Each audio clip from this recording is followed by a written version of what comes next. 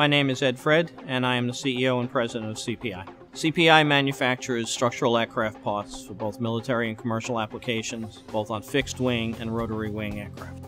We provide a variety of services to both the military and commercial arenas, as well as corporate business jets. We do everything from overhaul and repair to replacement parts to the production of assemblies for new aircraft.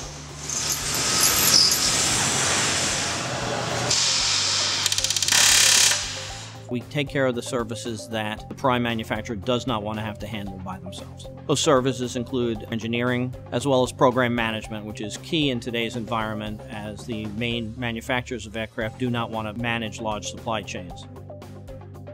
We provide our product to all of the well-known manufacturers of both aircraft and helicopters in the world. We have a wonderful relationship with the customers we have because we understand their requirements and do everything we can every day to meet or exceed those requirements. That has manifested itself in new contract awards and a variety of accolades and acknowledgments from those customers as a premier supplier of aircraft parts. We operate in a 171,000 square foot facility that is state of the art in every way. We use lean manufacturing, we have a state of the art paint booth, and overhead crane system that allows us to produce an assembly of any size. We have plenty of capacity still in this building that will allow us to grow for years to come.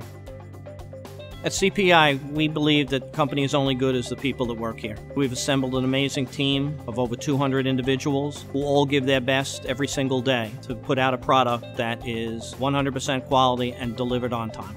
The CPI management team all comes from backgrounds with large aerospace companies, which give us an idea of what the customer is requiring at all times.